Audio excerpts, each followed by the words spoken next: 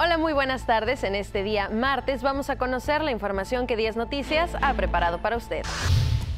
La Reserva de la Biosfera del Volcán Tacaná realizará del 9 al 11 de noviembre el primer Festival de Aves, evento con el que se busca crear conciencia entre la población para evitar su extinción.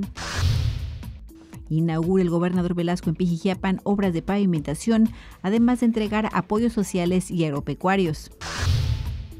Empresas chiapanecas y jóvenes emprendedores son beneficiados con financiamiento del Fondo de Fomento Económico para el impulso a la capacitación de alto impacto. Chiapas es el estado con la mayor diversidad de mamíferos en el país, aportando más de 200 especies, se revela en el 13 Congreso Nacional de Mastozoología a desarrollarse en el estado.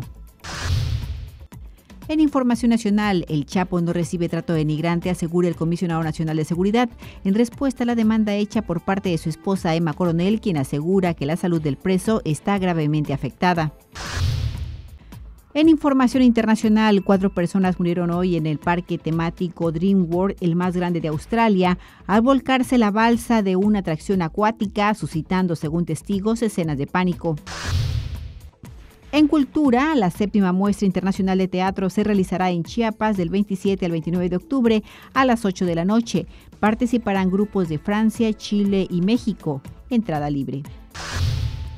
Hasta aquí la información el día de hoy. Síganos a través de nuestras redes sociales, Facebook y Twitter. Estamos como 10 Noticias.